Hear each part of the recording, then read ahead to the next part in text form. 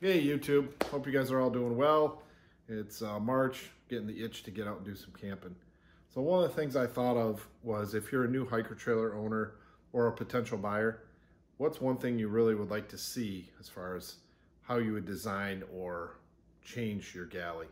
So I did a compilation video of 18 different trailers here and all the different galley layouts that I've seen up to this point. Let's get rolling with that video.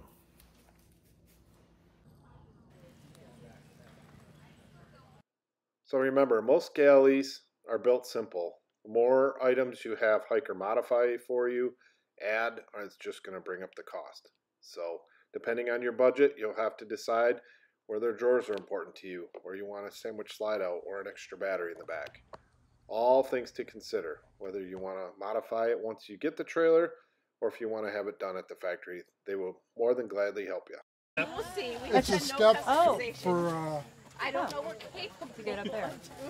Okay. to uh, It was a rental unit.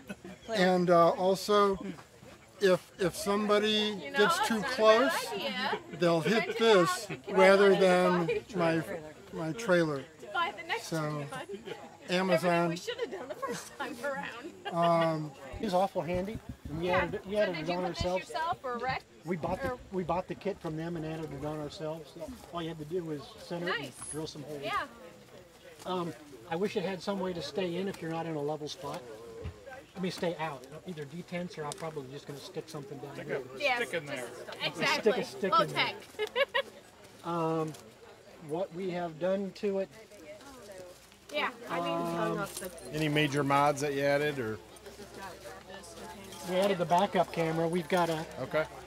we have a backup camera built in, and I put together a kit where I can have a front and back camera on the truck. Oh, nice. So I just added a third camera. I, so that when I'm backing in, I can watch how horrible of a job I'm doing. Out of it yet, And so it- I really just is. bring Yeah. my little Mr. Coffee um, because I gotta have that. But you see, we sort of just put a piece of wood in there and that sort of, and and again, with the right size things, things don't move around too much. Um, just made a drawer out of a, a wine box. That sort of, that's our that's our work surface. Um, this space works real nice. We've got a fan and two tables fit in there, uh, and this and the sort of like the toilet tent, changing tent thing works well. And just just did a cooler. your cooler. Yeah, just.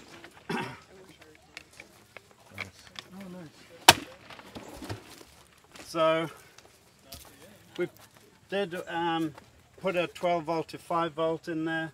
So there's uh, um, cabin lights, galley lights, LEDs under here. It's got the stock one that was built in up here. Um, uh, underside lighting, you might have seen it last night. Yep. Uh, and camera, backup camera. Put that through its Bluetooth to, to either your phone or your tablet. And uh, then this is just 12 volt to the voltmeter USB and another little flashlight. The solar, or everything is still in that bottom corner. We put a second battery in.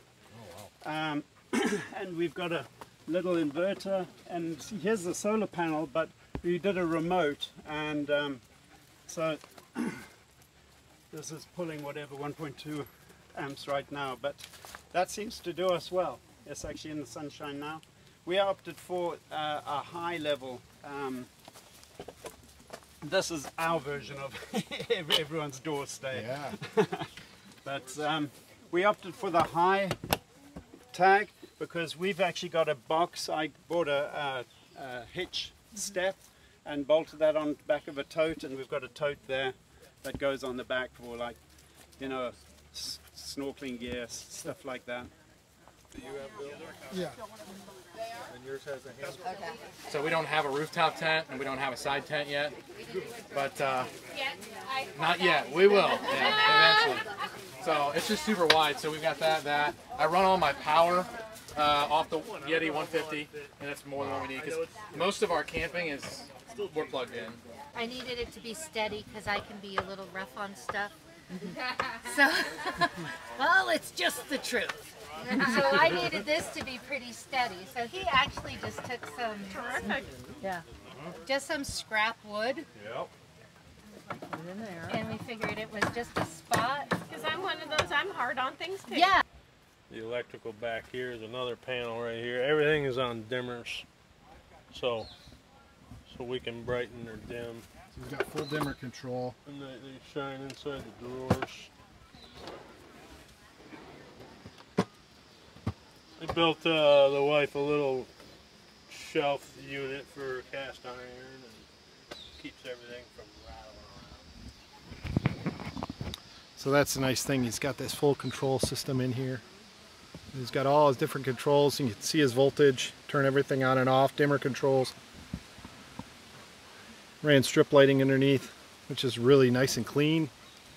Storage for all the um, different cups and so on. Food. Pops in, and then we can put our extra water on either side of the tires, Tied on either side. which makes it nice. He can tell you about the rest of it. I know the kitchen I because repurpose things. This is a I was the one that went. car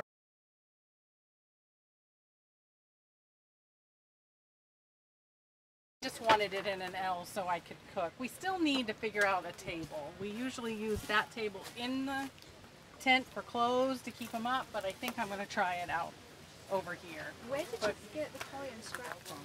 The Corian scrap, we just went to a countertop shop.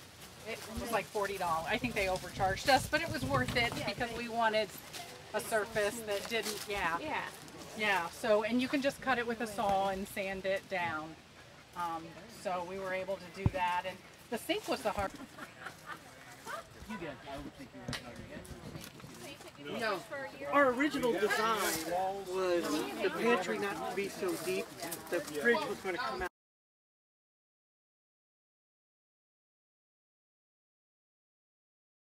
And the only light I have is the one that came with the thing, you know? Oh, look at her paper towel holder. And my husband. Yeah, and that's really fancy here, I mean. We did it with a 3D printer. Yeah, yeah. Yeah, I have a mirror here, so I can do my hair. And you have the uh, I use the windows in my motor vehicle. So it's not really, I was uh, told to wear it. And this is, this is special, I mean, uh, It's, it's, Wes, Wes made this for us, let me put that there. lights on the inside. Yeah. Matter of Oh yeah, I, I've got a stuffed deer. Someone's thirsty. bins to keep. Yep. ideas. Yeah, we're looking for ideas. I'm not a real handy because guy, so I don't do the everything- stuff myself. Everything has ended up on the other side. Oh, you need to put a little pin. pretty much everything is standard. We have the solar panels up front, on the front of it, which have worked really well for us so far. We're not even bothering to plug it in, because we're not using that much anyway. Um, and we just made a big bunk. So the the two kids just sleep above us. Oh, it's temporary. We'll we'll put the wall back in and oh, And I wanted to, because eventually you're going to cover it up. I'm like, no, I want They're to keep great it close, you because know, as memorabilia for days. So. That's, and Wes is great. thinking I should just put them on the outside, but I'm afraid. Oh, that's, exactly, that's where we're at. You know, like It'll be a year, it'll be a year at the end of this month. They put this, uh, so like the solar panel slides up in here. So it's up out of the way and doesn't get crushed. Nice. And then it will slide, it- you know, you got to slide it this way and then pull it out. Yeah, that's nice, our solar panels just in the go.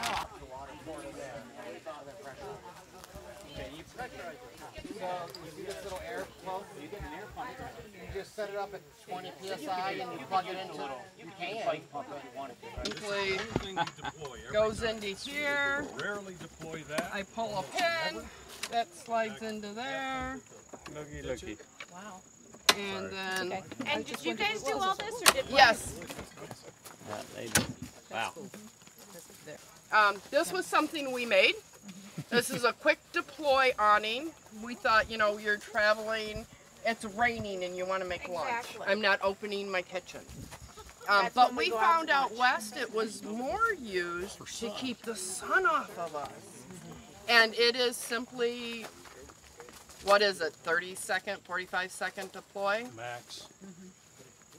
But we found we got to work fabric still. The, Yeah, we, um, in in any high suggestions in high be helpful. humidity, this goes taut and this sags. But in high low humidity, high heat, this goes taut and, And this sags. sags. So, So- I got to Oh. figure out my fabric. Interesting. Yeah, that was a, like a phenomenon. Now you need dismisters underneath. Now, how did you attach your bungees? Uh, mm, okay, my husband had access to a 3D printer. So I printed those these little- these are just little buttons. This is our galley. We opted for a 24 inch deep galley so we would have additional room for supplies. So our approach to the galley itself was we didn't want to have everything in boxes where we had to get to camp and unpack everything. We tend to move camp every day and so that just wouldn't really work for us. So we organized this in a way where things were secure but that we had easy access to them as soon as we got to camp. This organizer here, um, we actually got this idea off of another hiker member. This is actually attached to the countertop using 3M VHB double-sided adhesive. Um, and then our spice rack, we also got this idea off another hiker member and is connected also via adhesive. We have hooks around our galley for various items um, that we use a lot. Our top shelf is only about 12 inches deep because we did add the divider between the galley and the cabin area. We did add some bungee cords to keep things secure. Again, given the terrain we travel in, um, it is important to have that secured.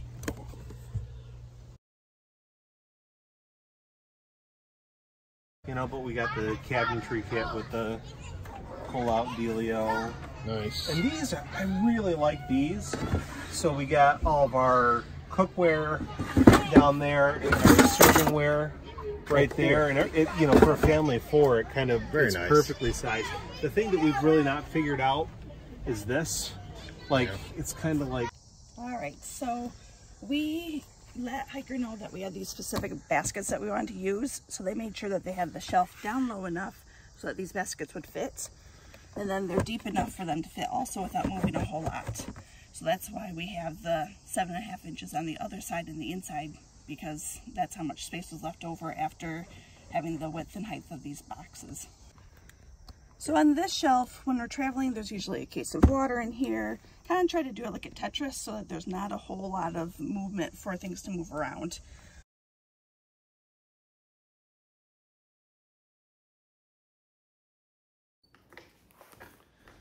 Well, I hope you guys all learned something.